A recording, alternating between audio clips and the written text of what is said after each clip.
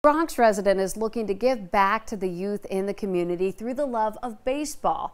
News 12's Eli Murillo gives us details on a new batting cage here at home and spoke to the owner how it all started. Giancarlos Minier tells me his passion for baseball transcends through coaching and one-on-one -on -one relationships with the youth here BarrelUp Baseball Player Development in the Bronx. He says he started this program nearly four years ago, but that his love for the game started way before that. Growing up in a Dominican household, at the age of four years old, it was instilled in me to play the game of baseball, and I fell in love with it.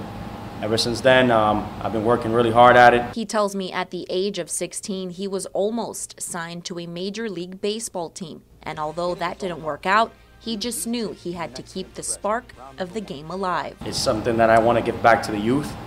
I want to make sure that baseball players in New York, predominantly in New York, have the exposure and the correct coaching. Uh, and that they can take their game to the next level. Giancarlos says he wants to pass on what he's learned in his career to any kid that's watching with a dream and hopes they will take a chance. Teach these kids and to keep these kids in a safe environment in sports and a discipline. So that's what I'm striving for. Giancarlos tells me he sees so much potential in the youth in this community, and he says he hopes to invest in other locations, not only here in the Bronx, but in the Dominican Republic. We're in Wakefield. Eli Murillo, News 12.